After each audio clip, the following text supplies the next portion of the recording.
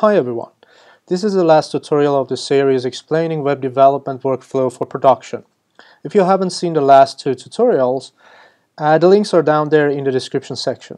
So in this tutorial we basically want to optimize our CSS and JavaScript files to put them in our production server or wherever we want these files to reside. Please don't forget to subscribe to the channel if you haven't already to see the upcoming tutorials. Alright, let's get started. The previous tutorial uh, I actually showed you how you can optimize the CSS and JS files by concatenating them uh, using gulp concatenation module and then minify the result using gulp uglify for JS files and gulp uglify CSS for CSS files. In that tutorial uh, we basically as you can see over here we basically created a task finally that runs those for us. So as you can see we have a gulp task uh, called concat.min.js which gets the files from the JS folder and concat it, uh, concat them and then rename them, rename the uh, final file to all.min.js, minify it afterwards and then put it in a dist folder. As you can see we've already done that. The problem with this uh, gulp project is that or these gulp file instructions is that you know ultimately you have to modify your index.html file here, the links that we have, to the correct uh, final you know, CSS and JS files, the minified ones that we've already created. In this tutorial though, I want to show you how you can basically create uh, everything uh, automatically using a module called useref. So it's called gulp useref. So let's get started. Let me close this project file here. I don't need it. And what I've created for this tutorial is basically a web interface as you can see here with three links. And then it's obviously a responsive web page as you can see when I scroll it.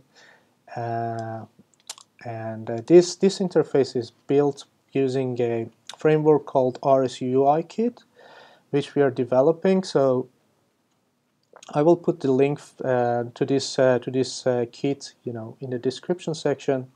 You can go take a look at it. This is my index.js file based on that framework. Let me resize this, and then uh, let me show you some of the things. For example, you have this navigation where you could modify how it uh, shows up. If I do side right, it basically shows up from the right side and if I do full here, for example, at the full, it basically, you know, moves everything for us. Anyways, uh, I will I will cover uh, this library or this framework in a tutorial thoroughly later. So as you can see here, I have my app folder and then CSS Im uh, IMG folder for, for the images and JS. I actually added a main.css, modified some of the CSS uh, or some of the styles in my index file uh, to, to you know have something to show.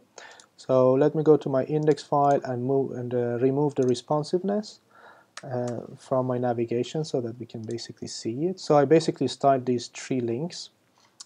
Um, and then I have a JavaScript file. I used uh, jQuery to like whenever you click on each one, it actually says this section is for the link, and then if you click, you know, each one of them it just you know represents that link.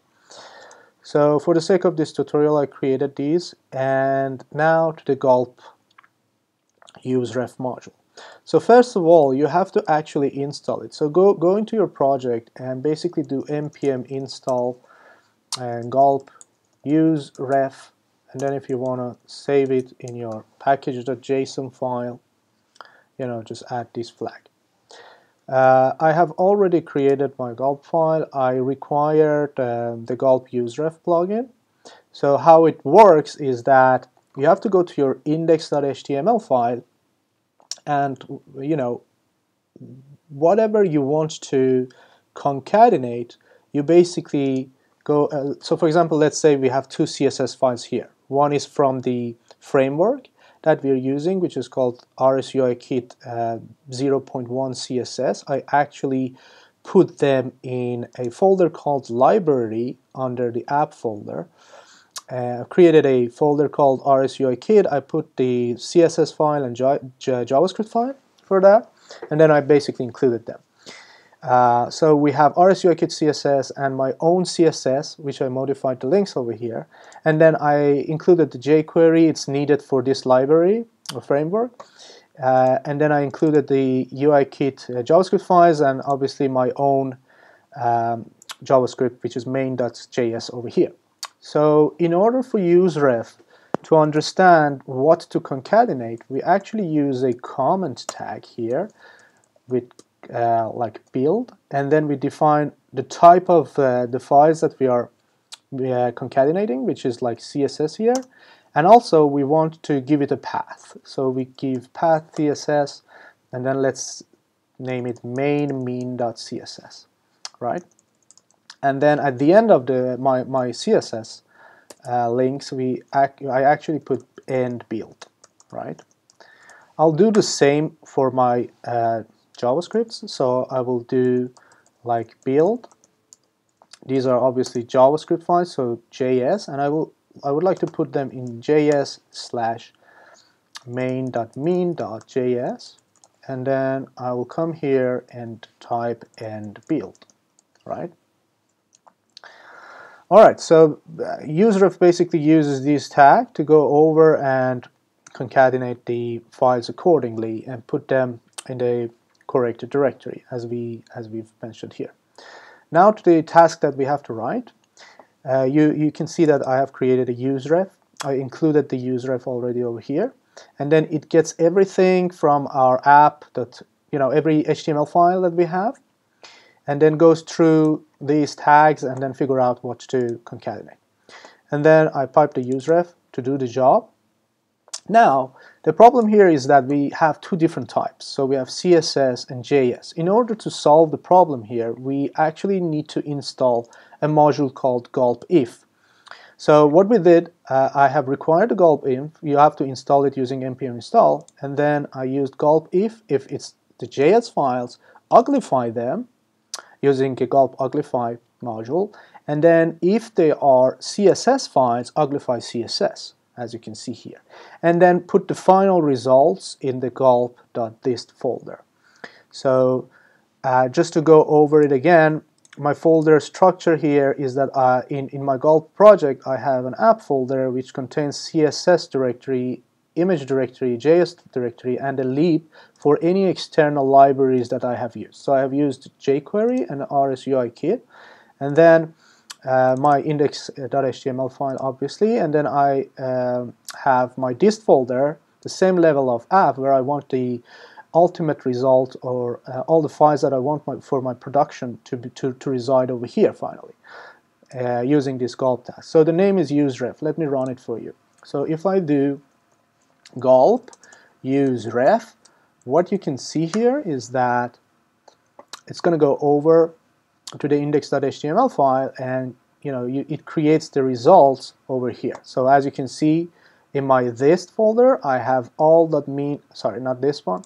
In my dist folder I have my CSS which I named here main.min.css and also my JS which is main.min.js and interestingly enough useref actually created the links for me automatically. So what I need to do is basically get all the files here in my dist folder and put it on my production server and everything is working as expected. Alright, I, I wish that you liked this tutorial, so don't forget to subscribe to the channel again to sort of support me creating these tutorials. If you have any comment or questions, you know, just comment down there in this video and I wish you a great day and night. Goodbye.